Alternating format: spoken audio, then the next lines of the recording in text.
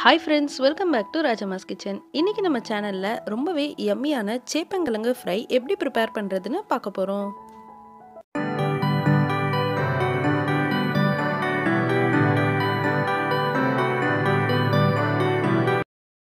இன்றைக்கி நம்ம சேப்பங்கிழங்கு ஃப்ரை செய்கிறதுக்காக ஹாஃப் கேஜி அளவுக்கு சேப்பங்கிழங்கு எடுத்து வச்சுருக்கோம். ஃபர்ஸ்ட் ஸ்டெப்பாக நம்ம இந்த கிழங்கெல்லாம் தண்ணியில் சேர்த்து நல்லா வாஷ் பண்ணிக்கலாம். நம்ம இந்த கிழங்குல இருக்க டஸ்ட்டெல்லாம் நல்லா தேய்ச்சி வாஷ் பண்ணி எடுத்து வச்சுக்கலாம். நெக்ஸ்ட் ஸ்டெப்பாக நம்ம இந்த கிழங்க வேக வைக்க போகிறோம் நல்லா வாஷ் பண்ண பிறகு இந்த கிழங்க குக்கரில் சேர்த்துட்டு ரெண்டு கிளாஸ் அளவுக்கு தண்ணி சேர்த்து நம்ம குக்கரை க்ளோஸ் பண்ணி த்ரீ விசில்ஸ்க்கு குக் பண்ணிக்கலாம்.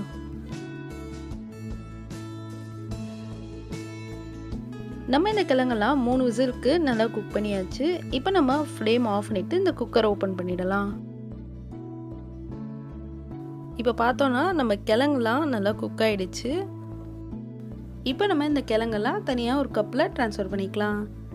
நெக்ஸ்ட் ஸ்டெப்பாக நம்ம இந்த கிழங்குல இருக்கக்கூடிய ஸ்கின்னெல்லாம் பீல் பண்ணி எடுக்க போகிறோம் இப்போ இந்த கிழங்கு ரொம்ப சூடாக இருக்கிறதுனால ஒரு டென் மினிட்ஸ்க்கு இது நல்லா ஆறட்டோன்னு நார்மல் வாட்டரில் இந்த கிழங்கை சேர்த்துட்டு நம்ம இந்த ஸ்கின்னை பீல் பண்ண ஸ்டார்ட் பண்ணிடலாம். இப்போ பார்த்தீங்கன்னா கிழங்கு நல்லா ஆறிடுச்சு. இப்போ நம்ம இந்த ஸ்கின்னை பீல் பண்ணி எடுத்துடலாம்.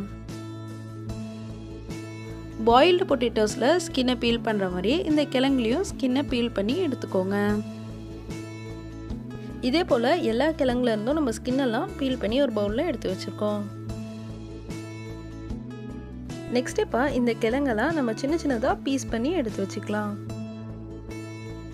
வேக வச்ச பிறகு இந்த கிழங்கு கொஞ்சம் ஸ்டிக்கியாக இருக்குங்க. அதனால் நம்ம கட் பண்ணும்போது நைஃப்பில் கொஞ்சமாக ஆயில் அப்ளை பண்ணிவிட்டு கட் பண்ணிக்கலாம்.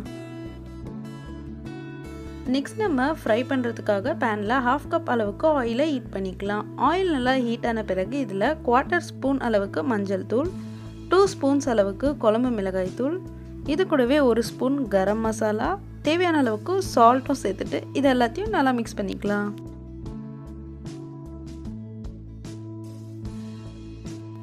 நம்ம சேர்த்துருந்த மசாலாஸ் எல்லாம் நல்லா மிக்ஸ் பண்ணியாச்சு. இப்போ நம்ம கட் பண்ணி எடுத்து வச்சுருக்க சேப்பங்கிழங்கெல்லாம் இந்த மசாலாஸோடு சேர்த்துட்டு நல்லா மிக்ஸ் பண்ணிக்கலாம்.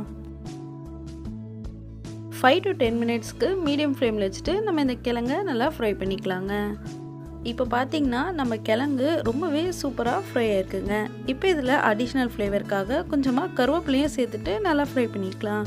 அவ்வளோதாங்க ரொம்பவே ஹெல்த்தியான இந்த சேப்பங்கிழங்க நம்ம இன்றைக்கி டேஸ்டியாக ஃப்ரை பண்ணியிருக்கோம். கண்டிப்பாக நீங்களும் உங்கள் வீட்டில் ட்ரை பண்ணி பாருங்கள் தேங்க்ஸ் ஃபார் வாட்சிங் த வீடியோ கண்டிப்பாக நம்ம சேனலோட அதர் ரெசிபிஸையும் ட்ரை பண்ணி பாருங்கள்